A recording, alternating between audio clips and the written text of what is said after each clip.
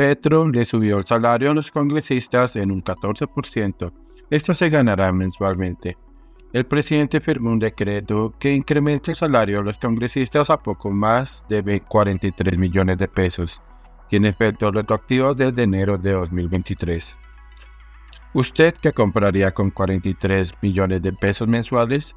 Pues bien, ese es el nuevo salario que tendrán los congresistas en Colombia después de que el presidente Gustavo Petro firmara un decreto que les incrementa la asignación salarial mensual en un 14,62% debido a que existe un mandato constitucional que obliga al jefe de Estado a subirles el sueldo cada año. Para ser precisos, con esa subida los legisladores pasarán de tener un pago de 37.880.418 a ganarse 43.418.535 pesos. La suntuosa suma tiene efectos retroactivos a partir del 1 de enero de 2023, por lo que los legisladores recibirán los millones correspondientes a los siete meses que ya pasaron de este año. Esto significa que para pagar el salario a los 296 congresistas que tiene el Senado, 108 escaños y la Cámara de Representantes, 188 curules, se necesitan mensualmente 12.851 millones de pesos, sin contar los gastos de funcionamiento del recinto del Congreso y de sus funcionarios que van en otra partida presupuestal. El incremento salarial equivale a 5.538.117 y con esa suma total los congresistas tendrían una asignación presupuestal mensual equivalente al dinero que se necesita para comprar un automóvil nuevo, una moto de lujo, un viaje a Europa para varias personas o para pagarse una maestría en alguna de las universidades privadas mejor ranqueadas de la capital. El nuevo salario de los congresistas en Colombia quedó pactado en el decreto 1219 del Departamento Administrativo de la Presidencia DAPRE, firmado el pasado lunes 24 de julio con el que se concretó el ajuste salarial. ¿Cómo se calcula el salario de los congresistas? El salario de los congresistas incluye un sueldo básico, gastos de representación y una prima que incluye gastos de localización, de vivienda y de transporte.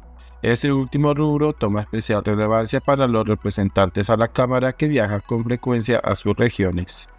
La fijación del régimen salarial de los congresistas tiene en cuenta 13 criterios que están contenidos en la Ley Cuarta de 1992, en la que se trazó el formato para determinar los salarios de los funcionarios públicos.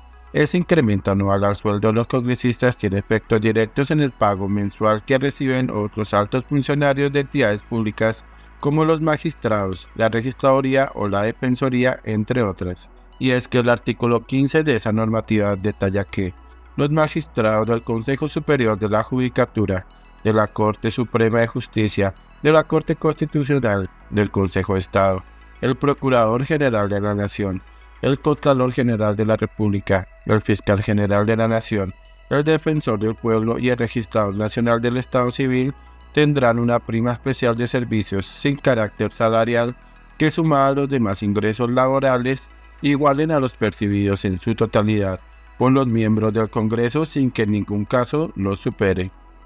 Los aumentos en el sueldo de los congresistas.